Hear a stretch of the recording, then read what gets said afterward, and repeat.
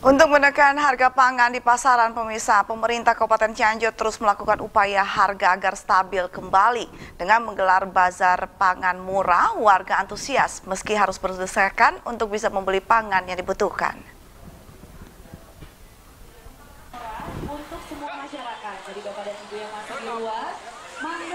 Ratusan warga di Desa Ciherang, Kecamatan Karangtengah, Kabupaten Cianjur berdesakan demi membeli pangan murah yang digelar Pemkap Cianjur dalam rangka Hari Pangan Sedunia. Dengan menggelar bazar pangan murah, sudah keenam kalinya digelar Pemkap Cianjur bertujuan untuk menekan harga pangan yang terus mengalami kenaikan.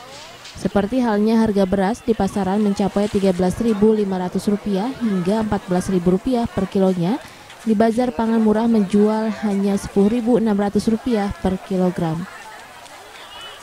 Selain harga beras yang murah seperti harga daging ayam, gula pasir, terigu, dan telur ayam juga dijual dengan harga murah. Untuk gula pasir di pasaran Rp16.000 dijual Rp14.500. Minyak kita di pasaran Rp17.000 dijual Rp13.500 per kilogram. Telur ayam di pasaran Rp27.000 per kilogram hanya dijual Rp24.000 per kilonya. Serta daging ayam di pasaran mencapai Rp36.000 per kilonya, di sini menjual Rp34.000 per kilogram. Volume pembelian tidak dibatasi kecuali minyak kita. Sementara itu Yuyun salah satu warga mengaku dengan adanya bazar pangan murah ini dirinya sangat terbantu sekali. Di sini harganya murah dibanding di pasaran lumayan mahal. Beli beras. Beras berapa harganya? Beli beras 53 per per bungkus ya per kilo. Per kilo ya? Kilo. 5 kilo. Ya. Kalau di pasar memang berapa? Kalau di warungan itu 12 per liter. Oh gitu. Tinggi ya, ya harganya.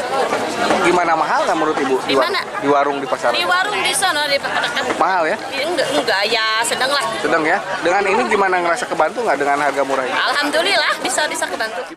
Warga berharap dengan adanya bazar ini mudah-mudahan bisa menekan harga-harga pangan di pasaran normal kembali. Hari Setiawan, Bandung TV